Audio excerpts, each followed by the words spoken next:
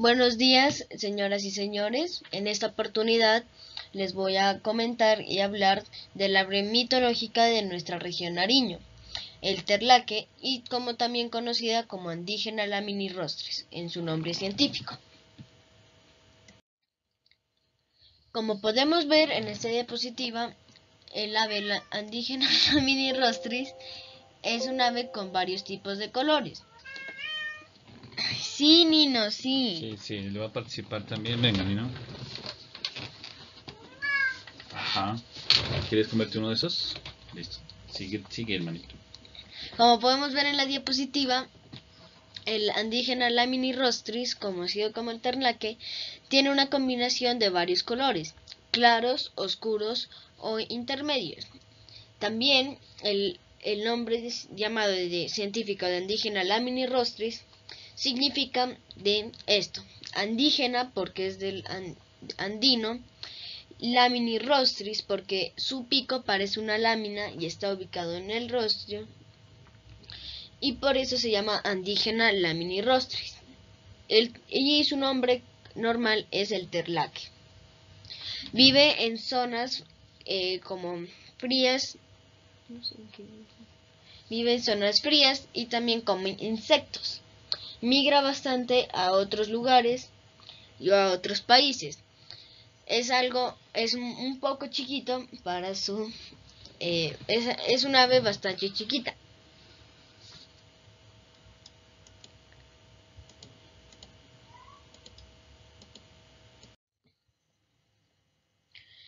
Esta especie presenta una distribución bastante restringida, desde la costa pacífica del sur de Colombia hasta Ecuador. Su nombre andígena deriva del latín moderno andimium, Andes y del griego, genos, raza, género o especie. El epitelo laminirostris de, deriva latín lamina, placa metálica y rostris pico. Mide de 46 a 51 centímetros y pesa de 235 a 755 gramos. Tiene pico negro, con la base de maxilia rojiza, mitad basal de mandíbula también rojiza y una lámina rectangular amarilla cerca a la base de la mandíbula. Presenta negro desde la frente hasta la coronilla y el resto de partes superiores de color café a verde con la rabadilla amarillo pálido. Tiene el área ocular de color verde azul arriba del ojo y amarillo debajo. Su cola es negruzca con los dos o tres pares centrales de plumas de color castaño. Presenta los lados del cuello, la barbilla y el vientre de color azul gris. Un parche amarillo en los dos flancos. Muslos castaños y cobertas infracurales rojas. La hembra es levemente más pequeña que el macho y con el pico un poco más pequeño. Los inmaduros son grisáceos por debajo, parduzcos por encima y con el pico negro grisáceo. Esta especie se encuentra en la, en la vertiente occidental de los Andes, desde la suroccidente de Colombia hasta el sur del Ecuador en Colombia se encuentran desde 300 hasta 3.200 metros de altura sobre el nivel del mar, en el occidente del departamento de Nariño, en el cañón del Patía. El hábitat del ternaque es en bosques montanos húmedos y muy húmedos con buena cobertura de musgos y bromelias. También utiliza bosque en crecimiento secundario. El terlaque es una especie principalmente frugívora y en su dieta las especies de los géneros Secopria o Cotea, entre otras, constituyen una parte importante de su dieta. También ha sido registrada alimentándose de cecilias, entre otras, en el suelo y sus crías son alimentadas con una pequeña porción de proteína animal como escarabajos, otros insectos, caracoles, roedores, aves y sus huevos. El terlaque también tiene su época de reproducción, abarca entre los meses de marzo hasta octubre. Durante el comportamiento de cortejo por parte del macho, Este idea su cola hasta reverencia bajando la cabeza y el pico. Menea hacia los lados y golpea con su cola y esponja de sus cobertas supracaudales.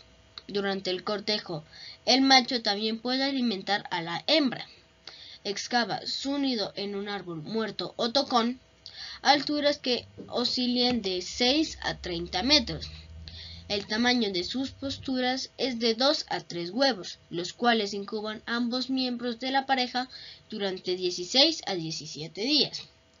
Ambos padres también alimentan a las crías, quienes abandonan el nido del día 46 al día 60, después de la eclosión y continúan siendo alimentados por sus padres de 2 a 3 semanas más. Las crías son expulsadas del territorio parental si ocurre una nueva puesta.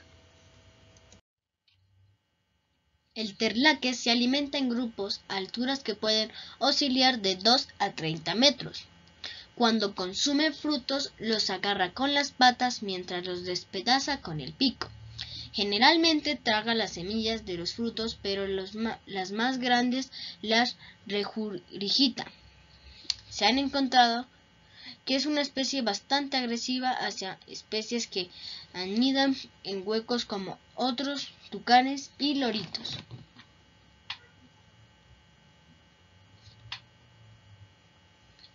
El estado de conservación de los terlaques es, es actualmente considerada como una especie casi amenazada en el ámbito internacional y la principal amenaza que enfrenta es la deforestación que resulta del establecimiento de asentamientos humanos, la transformación de tierras para ganadería, cultivos de coca, palma africana y explotación minera. Otra amenaza que puede estar impactando negativamente las poblaciones de esta especie es el tráfico ilegal de fauna. Desde aquí les habla Diego Andrés Chamorro Rey. Espero que les haya gustado esta presentación.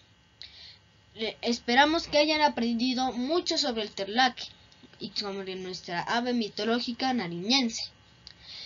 Eh, seguiremos investigando más curiosidades para que ustedes aprendan y nosotros también. Esperamos volvernos a reunir en alguna otra oportunidad para seguir aprendiendo más cosas. Y por favor, cuidemos nuestra casa común. Hasta luego, señores y señoras.